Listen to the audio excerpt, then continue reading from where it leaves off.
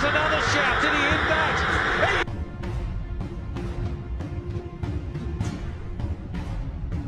जब भी मोहम्मद आमिर की बात होती है तो सबके जहन में फ़ौरन चैंपियन ट्रॉफी क्लिक कर जाता है। अब सवाल ये पैदा होता है कि क्या मोहम्मद आमिर ने सिर्फ़ चैंपियन ट्रॉफी में चिबानी की थी, जिसका जवाब है बिल्कुल नहीं, क्योंकि इस वीडियो में मैं आपको मोहम्मद आमिर के टॉप फाइव ऐसे खतरनाक स्पेल दिखाने जा रहा हूँ इनको देख कर आप यकीन हैरान रह जाओगे और चैंपियन ट्रॉफी को भूल जाओगे। तो चलिए वीडियो को स्टार्ट करते हैं।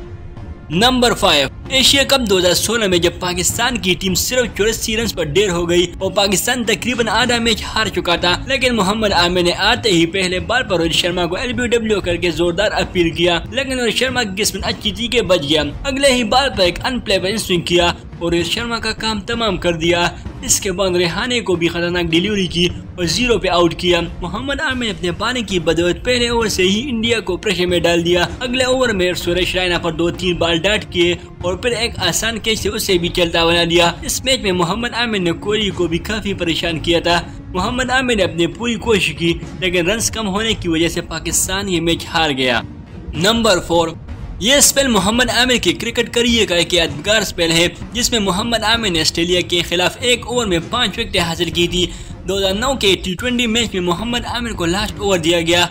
मोहम्मद आमिर ने पहले ही बार पर आउट स्विंग की मदद से कैच निकाला और विकेट हासिल की। इसके बाद एक खतरनाक केयर से मिचेल जॉनसन को भी आउट किया। स्टीव स्मिथ बैटिंग के लिए आए। आमिर ने स्मिथ पर बार डाट किया। रन लेने की कोशिश में एक और विकेट हासिल की। चौथा बार भी बैट्समैन ने मिस किया। रन लेने के लिए भागे लेकिन नाकाम हो गए और आउट हो गए आखिर में मोहम्मद आमिर ने अनप्लेबल डिलीवरी की और एक और विकेट अपने नाम की। यू मोहम्मद आमिर वाहिद बॉलर बन गए, जिसने एक ओवर में पाँच विकेट हासिल की हो। नंबर तीन, मेरे ख्याल से कहना गलत नहीं होगा कि पाकिस्तान ने टी ट्वेंटी वर्ल्ड कप 2009 का फाइनल मोहम्मद आमिर की वजह से जीता था। दिलशान जो कि टी ट्वेंटी वर्ल्ड कप 2009 के हाईएस्ट स्कोरर थे, उसको मोहम्मद आमिर ने फाइनल के पहले ही ओवर में बिल्कुल बेबस किया था। मोहम्मद आमिर ने अपने लाइन और लेन को बरकरार रखा। चार बार लगातार डाट किए और आखिरकार दिलशान ने तंग आकर गलत शॉट खेला और आउट हुआ। पहले ओवर के इस बड़े विकेट ने पाकिस्तान के जीत में अहम किरदार अदा किया। मोहम्मद आमिर की खासियत थी कि वो हर बैट्समैन को जानता था और उसको उसी तरह बाल करता था और जाल में फंसा कर पवीन की राह दिखाता था।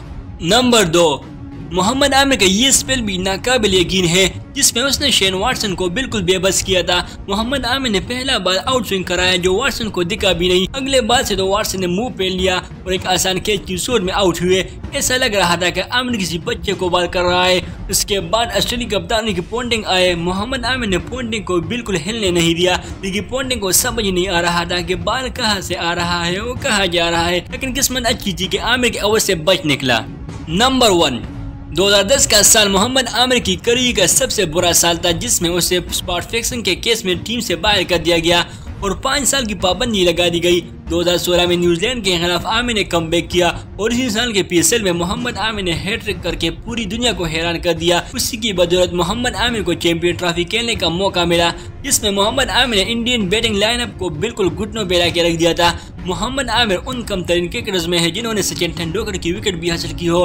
वर्ल्ड कप 2019 में मोहम्मद आमिर ने तकरीबन 300 प्लस डिलीवरीज की थी, लेकिन एक भी चक्का नहीं खाया था। इतनी अजीब परफॉर्मेंस के बावजूद मोहम्मद आमिर को कुछ इख्तलाफात की वजह से स्क्वाड में नहीं रखा गया, जिसकी वजह से मोहम्मद आमिर ने दिल बर्दाश्त होकर 2020 में सिर्फ़ 28 साल की उम्र में क्रिकेट से रिटायरमेंट हासिल की। अब एक बार फिर पाकिस्तान को मोहम्मद आमिर की अशद ज़रूरत है। आप लोगों को क्या लगता है, मोहम्मद आमिर को रिटायरमेंट वापस लेना चाहिए या नहीं? कमेंट में ज़रूर बताना। और वीडियो को लाइक और चैनल को सब्सक्राइब करना मत भूलेगा